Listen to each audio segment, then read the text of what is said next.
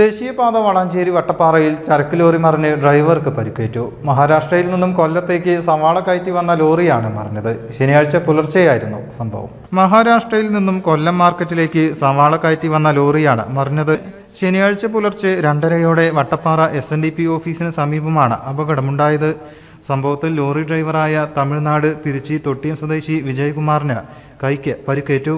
ഇടിയുടെ ആഘാതത്തിൽ വാഹനത്തിലെ സവാള ചാക്കുകൾ റോഡിന് സമീപത്തെ താഴ്ചയിലേക്ക് മറിയുകയും മൂന്ന് ഇലക്ട്രിക് പോസ്റ്റുകൾ തകരുകയും ചെയ്തു.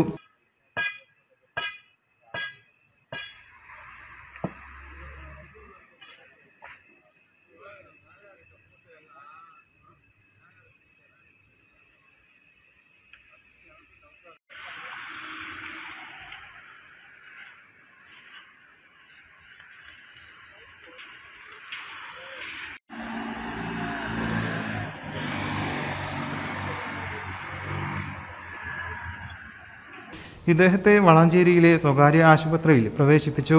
വളവ് തിരിഞ്ഞെത്തിയ ലോറി ബ്രേക്ക് ഡൗൺ ആയതോടെ നിയന്ത്രണം വിട്ട് റോഡരികിലെ സുരക്ഷാ ഭിത്തിയിൽ ഇടിച്ച് റോഡിലേക്ക് മറിയുകയായിരുന്നു. ഇതോടെ Vattappara S N D P ഓഫീസിന്റെ സമീപഭാഗങ്ങളിൽ വൈദ്യുതി തടസ്സപ്പെട്ടു. News bureau Valanchery.